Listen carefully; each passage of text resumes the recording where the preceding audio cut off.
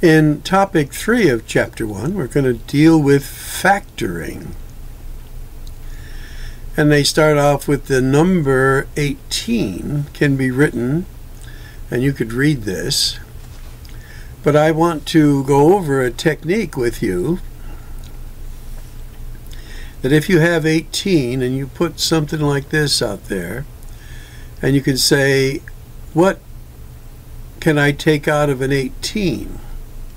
Well, since it's even, you can take out a 2, and that will give you a 9. And then when you get to 9, you know you can take out a 3, and that's 3. So what you have here on the outside are your prime factors of 18. And remember, you can always take a 1 out of anything. So what are the factors of 18? Well, 1 times 18. Every number has a 1 times it. Then you can have the 2 times 9. Or you can have the 3 times 6. And keep in mind, to get a positive 18, you could also have each of these as negative numbers. So, that's background of what we're going to be doing. Now, as we look at this next little part here, and I'll raise it up a little bit. I can see where my mouse is. There it is.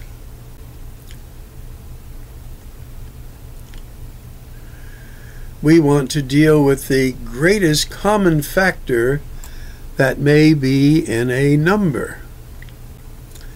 So we look at something like, let's go right to our example here. So I'll write it up here. 12p minus 18q.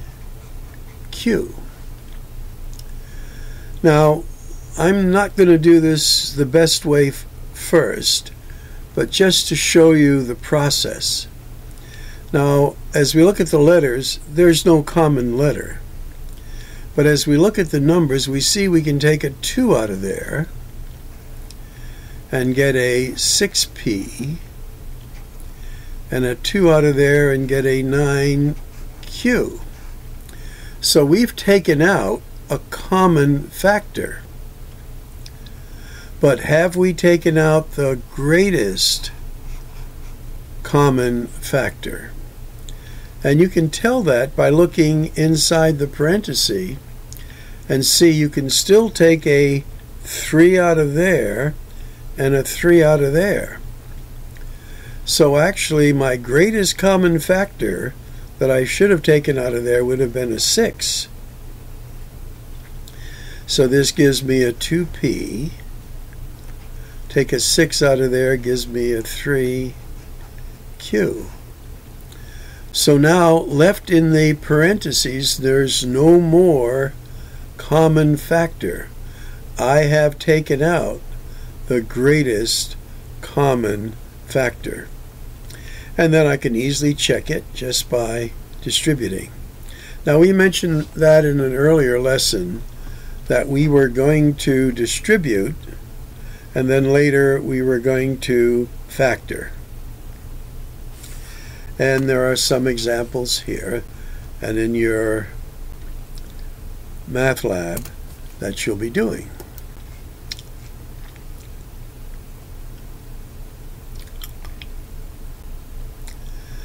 Now, when we see something like this,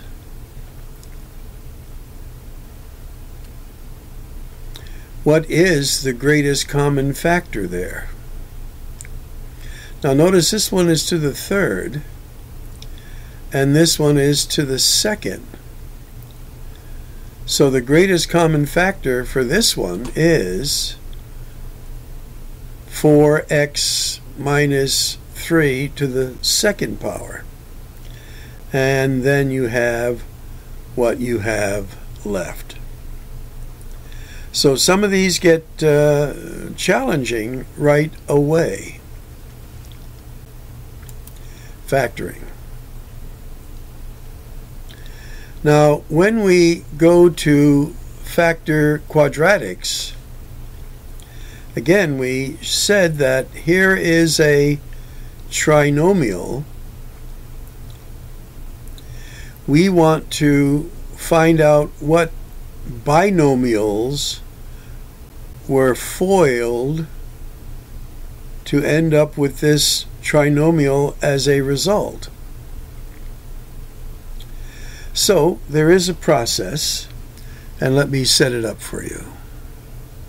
So in your homework log or your notes, you're going to write out the trinomial they want you to factor.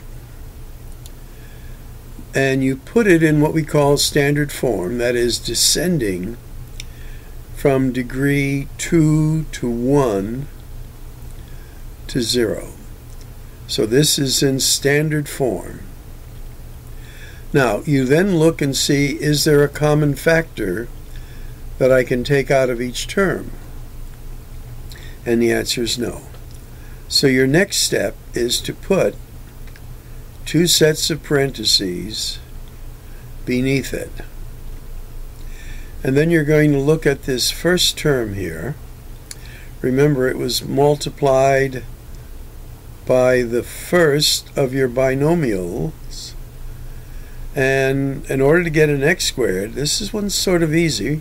It's just going to be an x and an x. Now, to get your last term, we had to multiply these together, and we're going to get an 18.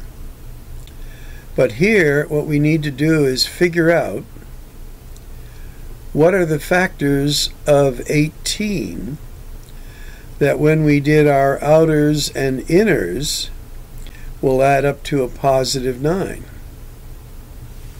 So here you can see a little bit of it that they're asking you to list the factors that I did above and one of the sets should be 3 times 6.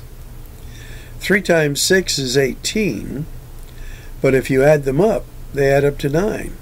So these are our last items, 3 and 6. Then we have to look at the signs. Since these are all positive, these will be all positive as well. And then we FOIL it, and it checks out. So there is the factorization of what we have. Once again, the steps, put it in standard form, see if there's any greatest common factor that you'll pull out, and then undo the FOIL, and then check it by FOIL.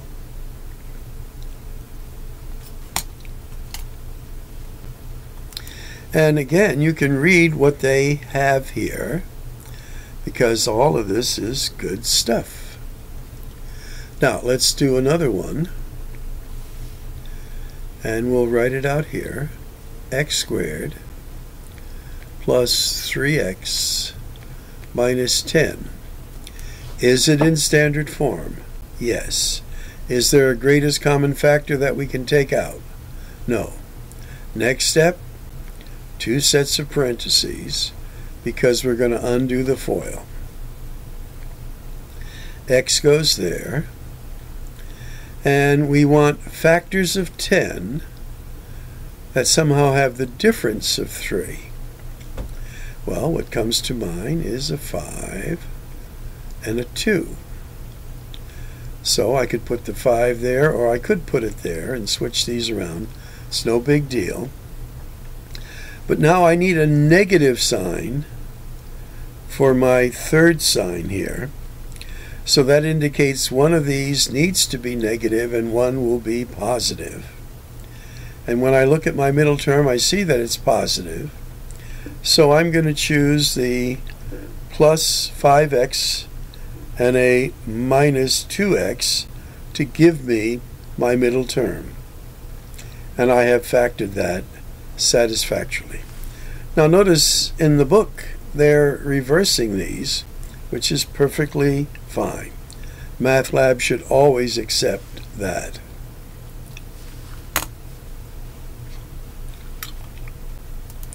Let's go on and we'll do another. Now here, things get a little tricky. And we'll write it out for you. 4y squared minus 11y plus 6. Is it in standard form? Yes.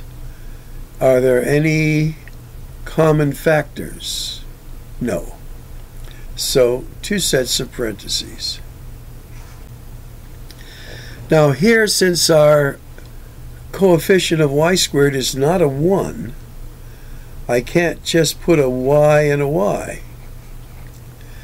So this is going to have to be a 4 and a 1 or a 2 and a 2.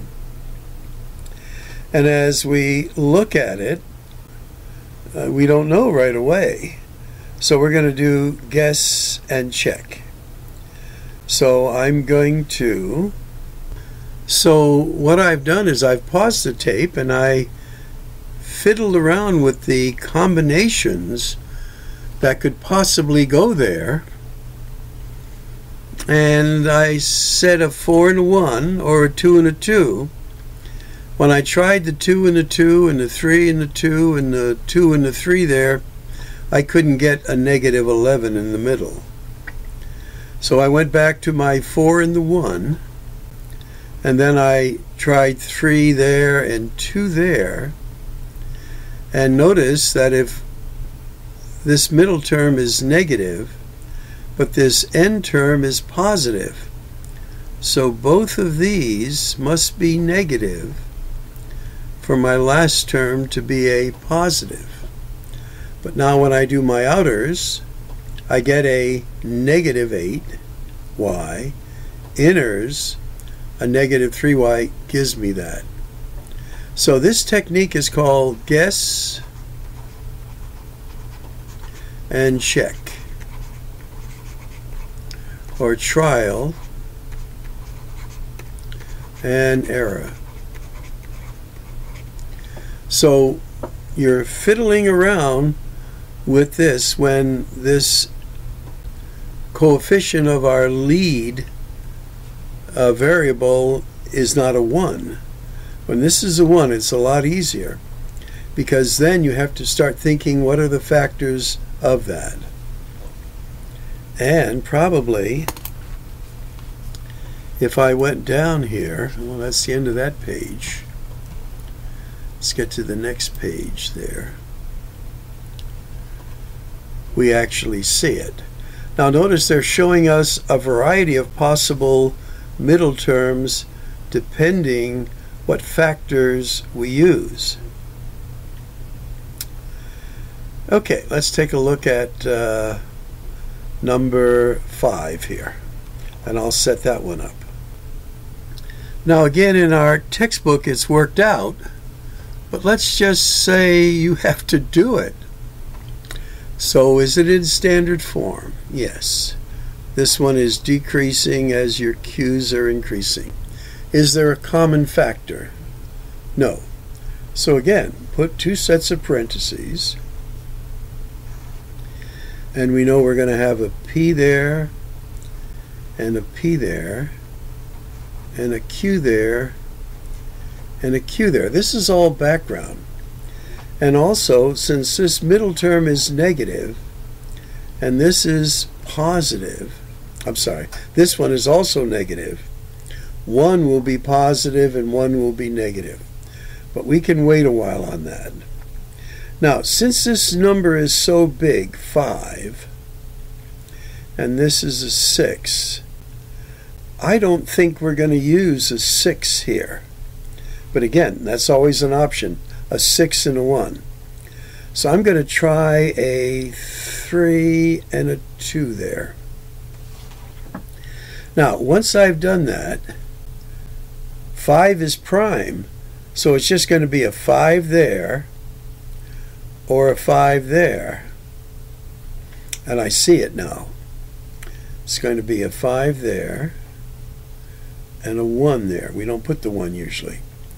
But can you see this is going to be a 10 Your inners are a 10. Your outers are a 3. The difference is 7. And since this middle term is negative, the larger has to be negative. So that's going to be a negative there. This will be a positive there. Now, if the 3 and the 2, you could have had a 2 and a 3, uh, doesn't work, then you try the 6. But often, you know, if this number is small, this number is small, you're not going to use a 6 there. And this comes with practice as you develop it over time. Okay, let's go on.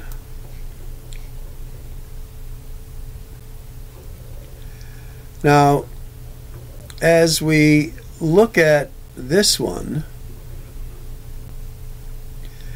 x squared plus x plus 3, it's in standard form. Can't factor anything out. You put your parentheses, and it's a 3 and a 1 no matter how you do it. There's no way you're going to get a 1 there. So when there is no factorization that will work. We usually say it cannot be factored, or we say it's prime. P R I M E. Now, one of the things they didn't show us in the previous lesson is factoring patterns. Let me give you a little background on this. If we were to take A plus B and FOIL it by A minus B,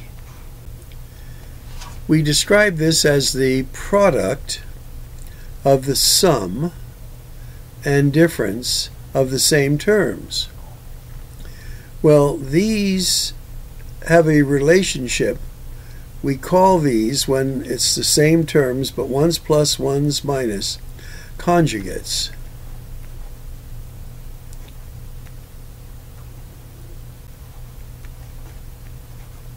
And I would write this in your notes. Conjugates.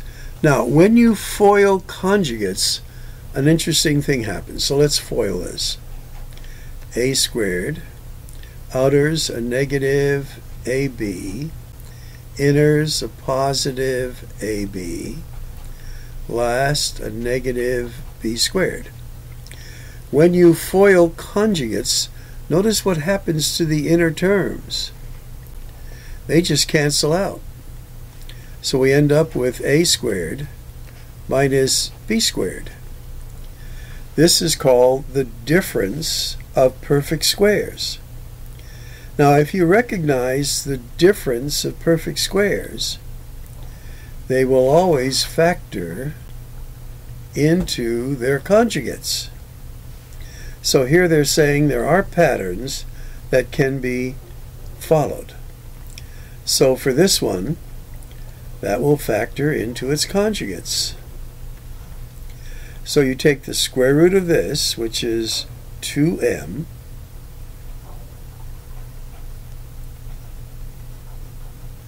you take the square root of 9, which is 3, and 1 is plus, and 1 is minus.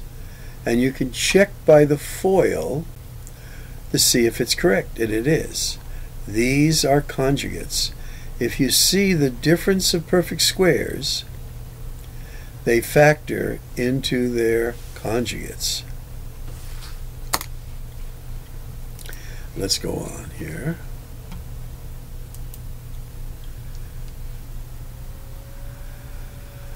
Now, keep in mind that this doesn't look like perfect squares right away, but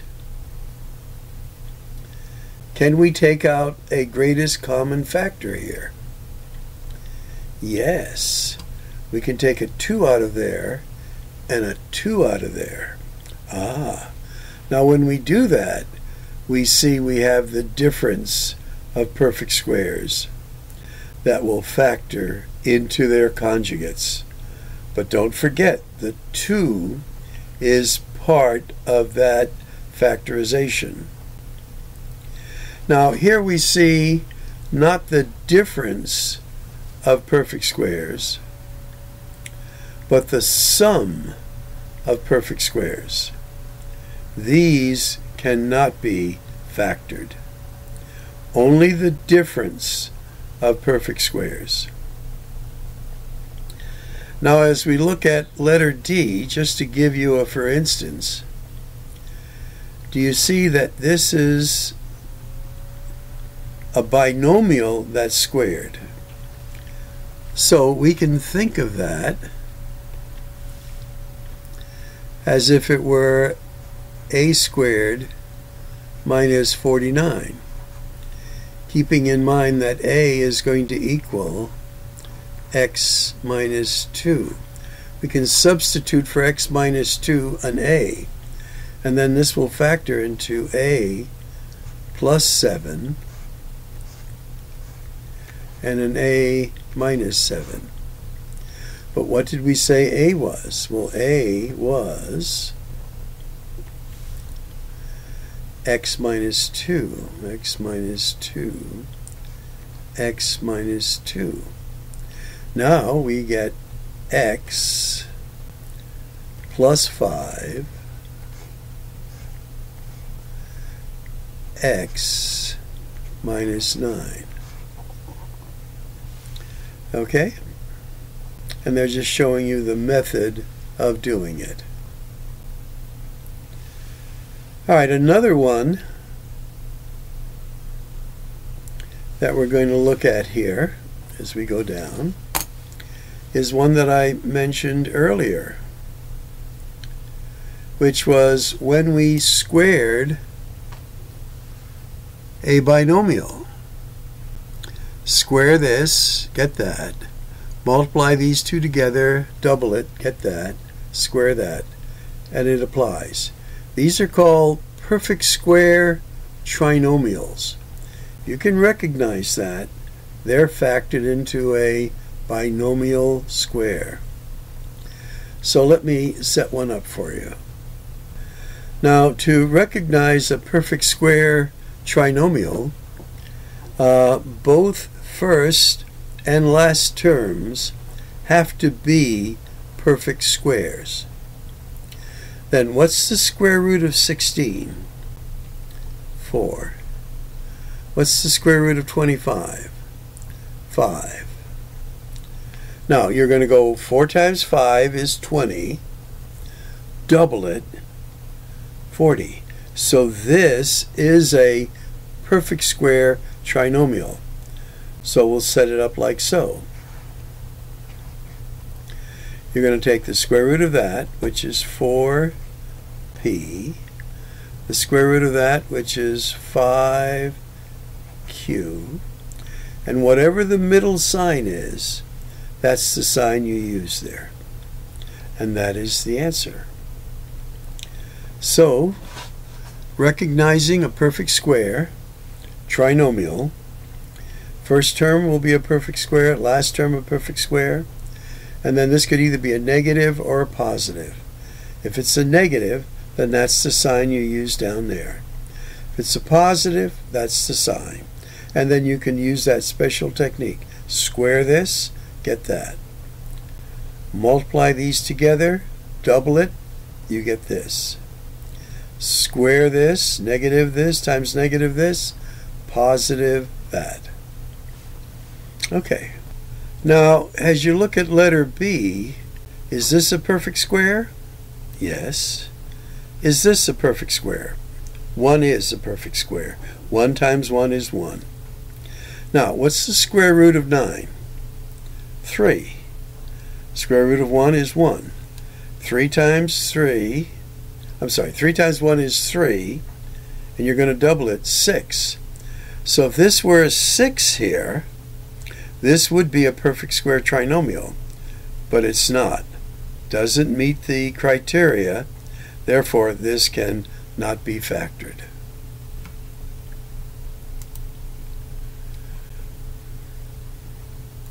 Now, for something like this,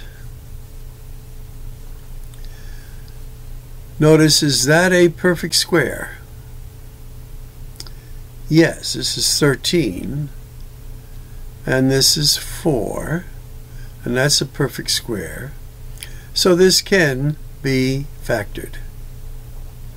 And it is a perfect square trinomial. So now they're asking us for a little mixed practice. Let's see what we can do with example 9. And again, I'm showing you the techniques here. As we look at this next one, we're wondering if we can factor that. So let's write it up over here. Uh, 12x squared minus 26x minus 10. Now, is it in standard form? Yes. Is there any common factor we can factor out of it? Yes, we can factor out a 2.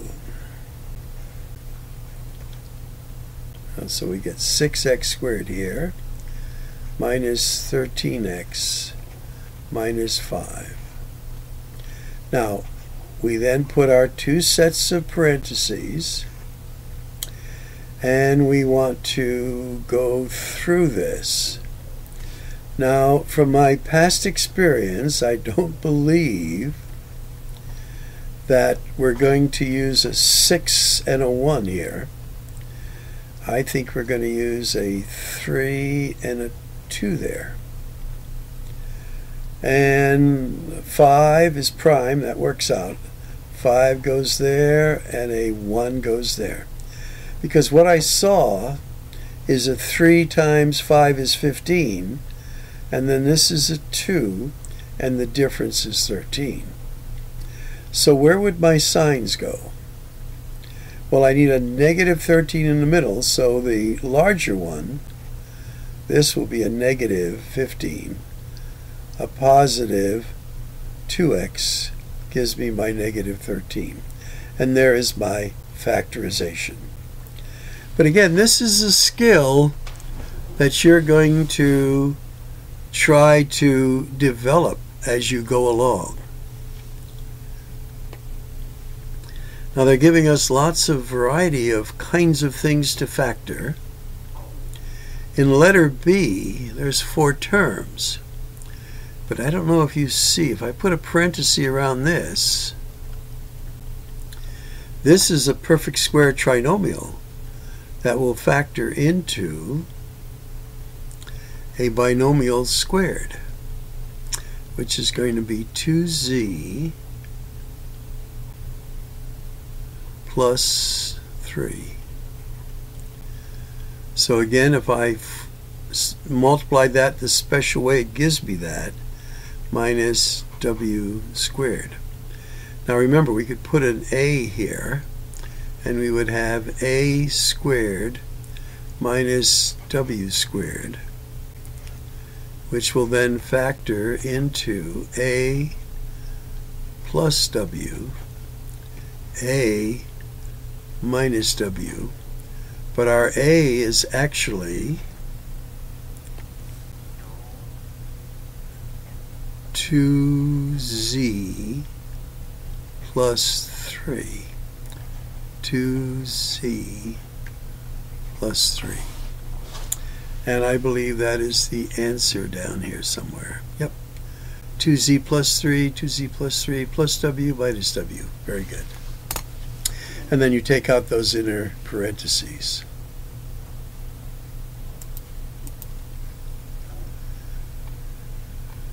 Now for letter C, again, there is a common factor of 4. When you factor out that 4, looks like this.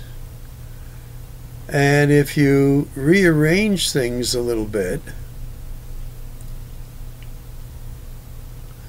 so that it looks like this, there you see you have a perfect square trinomial that will factor into its binomial square.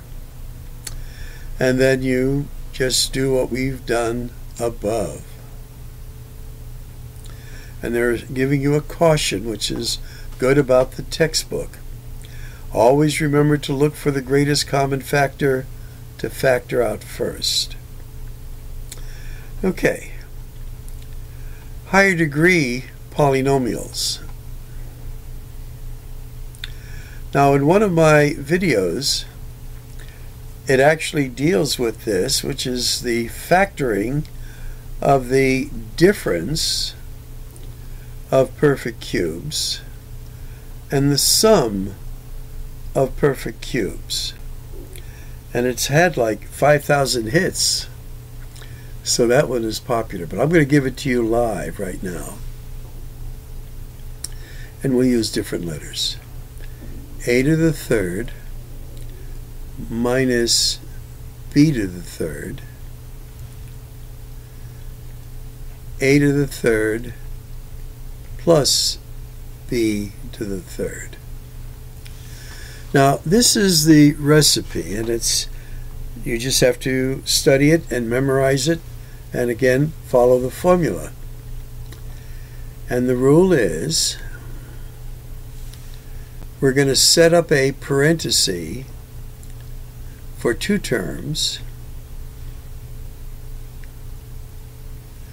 and a parenthesis for three terms. So we have our difference of perfect cubes, sum of perfect cubes, first step, parenthesis for two terms, a parenthesis for three terms. Now we're going to go for our signs. Well, in the two term, we use this sign right here. So this is going to go right there. Now, if this is a negative, then our middle term out here is going to be the opposite sign. So this is all part of the recipe. Now we take the cube root of this, which is a, the cube root of this, which is b. And it's the same down here. Now we square this, and that goes right there. Now we multiply these together, disregarding the sign because we already know the sign. This is going to be an AB. And we're going to square this.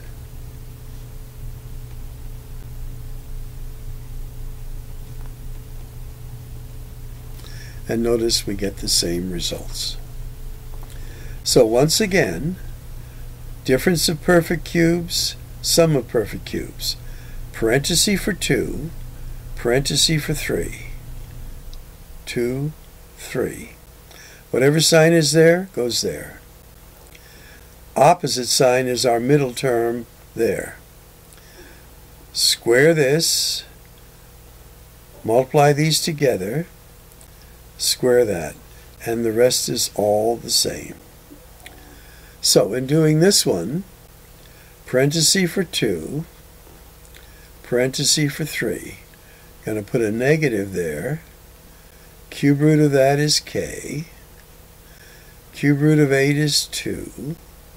And then our opposite sign here. This is going to be k squared plus 2k and this is plus 4.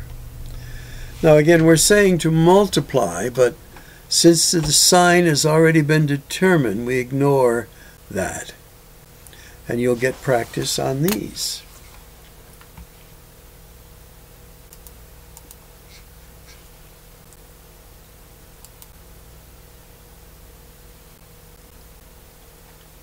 And these are worked out that you can try them out for yourself. All right, let's take a look at uh, example 11 because that's something different. So as we see it, again, no great com greatest common factor that can be pulled out. So to get our first term here, it's just going to be x to the fourth, x to the fourth, a 3 and a 1. We're just going to add them up like so. We FOIL and we get it. And that's what this one is. Now, this one's a little tricky. This is the difference of perfect squares. So this will factor into its conjugates. x squared plus y squared, x squared minus y squared. Now, if you left it like this, you wouldn't get credit for it, because this is still the difference of squares that can be factored. The sum of squares cannot be factored, but this can be factored into its conjugate still, x plus y, x minus y.